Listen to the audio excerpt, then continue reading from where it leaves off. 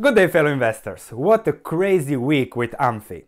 So let's explain what happened, why it happened, what is going on. Let's read the report, let's go through the report that ANFI surprisingly published. They didn't publish quarterly reports for about two years now and now they published it. So a lot of news with Amira and I want to discuss what happened, the report and the risk reward that was in place for the last eight months why I said in the last video that I sold 8 months ago at earnings date, because I didn't like the risk reward and now you see what is the risk that I didn't like. However, there is more about and let's see what you are interested in is going forward. So let's see what can happen going forward and Amira. Let's start with the report. Alright, so earnings per share for the 9 months, it is 55 cents, which would be price earnings ratio 4 5 or even lower given there is another 3 months. However, the revenue is 10% up, EBITDA is up, so better numbers, everything looks better. What I'm interested in is the change in inventory of finished goods is 71 million. How they account for that, that's always questionable and it might be that they make it so that to have profits stabilized. I don't know that, so that's something we'll have to leave as a question mark. I wanted to see some cash, that was my initial thesis, but the cash is not there and this magnified the risk in the past and lowered the reward because if Amira, the only thing that can save it now as a catalyst is a dividend. But as the company is continuing to invest in their working capital, in financing their suppliers and crediting the customers. So I don't know why Amira does that. Perhaps they think they gain something, but it's a very risky business model, at least from a Wall Street perspective, and leads to very, very low, low cash amounts. And cash is down 8 million, which is okay, logical because it's in the midst of the paddy procurement season, so they should be low on cash. Nevertheless, this is also something advanced to suppliers, 68 million. So that would be 68 million in cash if they wouldn't be advancing to suppliers. So the company is intentionally, deliberately keeping a low cash amount to perhaps gain some advantages elsewhere. And as the company says, historically our cash requirements have mainly been for working capital and adjusted net working capital is 564 million, which is huge. You divide it by the 40 million diluted in shares, you get to working capital per share of $14 which is some simply immense value. But more on that risk reward later in the video.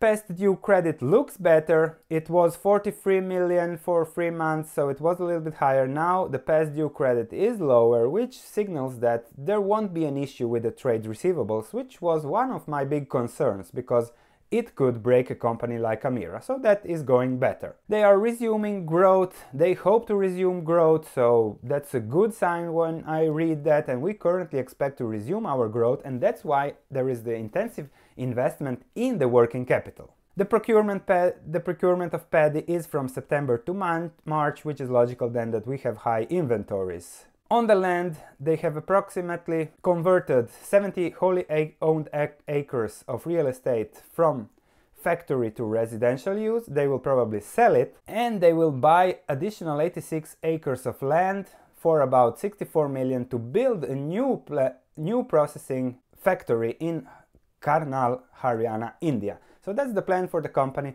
If they manage to sell the land, get good money, they will be able to build and finance a new platform where they will be managing to increase the production from 24 tons per hour to 60 tons per hour, which is very good. So on the report, stable report, uh, small increases I expected in the past, bigger jumps, better profits, better cash flows, but Amira is, let's say, keeping it stable and increasing at 10% per year, which is amazing in this environment and amazing for such a company. The debt is a little bit higher, but that's always Amira. High debt, very stretched financially, low cash. They have been doing that for the past six years, so they are continuing to do that.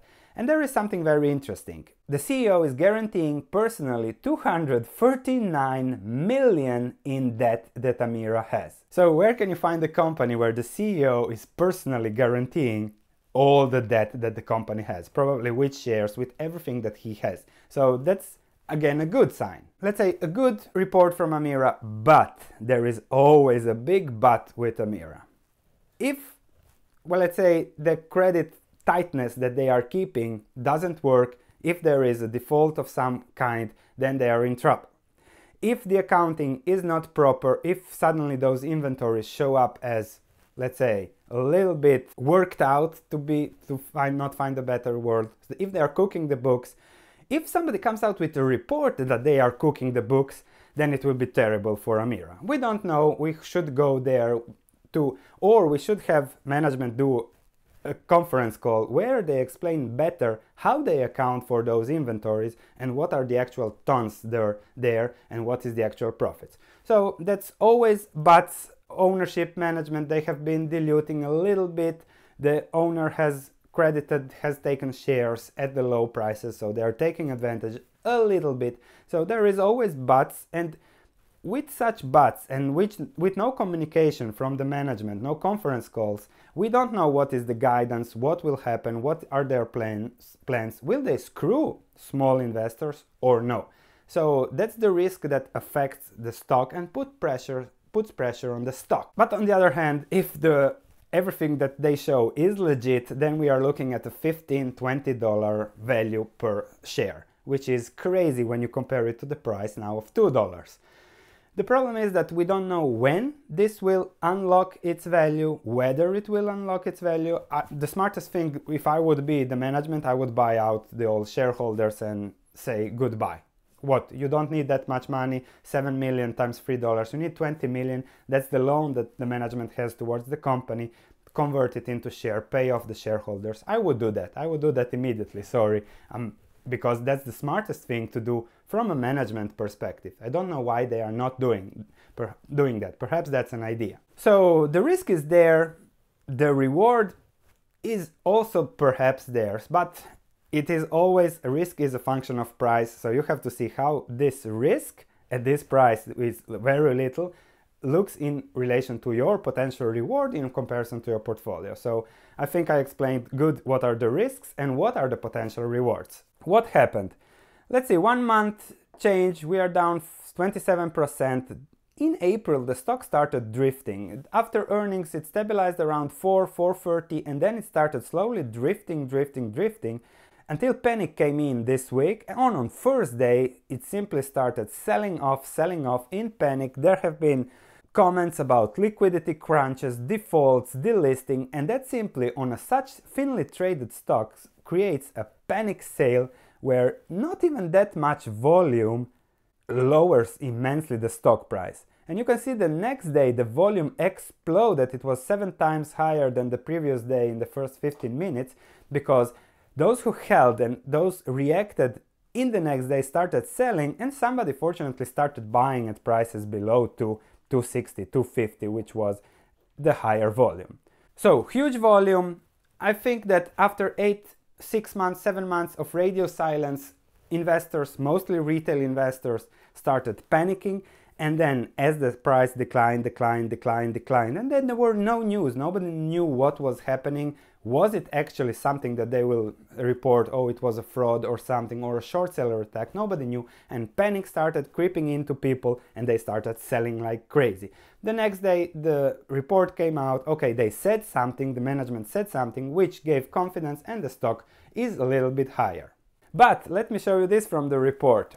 The company is stating how the decrease in other expenses was primarily due to a decrease in legal and professional expenses as we reach successful conclusion of multiple legal sanctions as well as lower communication expenses and lower commissions, claims and compensation.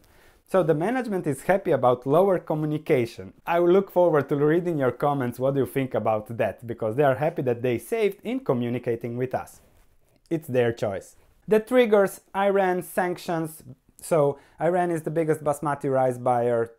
Trump turns the sanction screw on Iran. So that might be a trigger that further intrigued panic and selling.